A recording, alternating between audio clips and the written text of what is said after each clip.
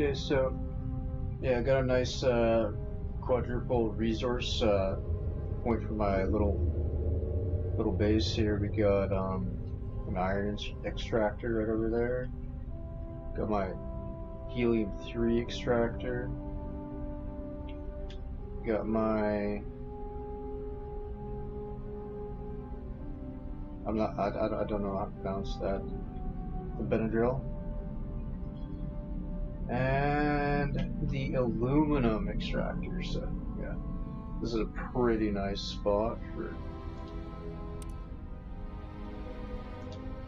that.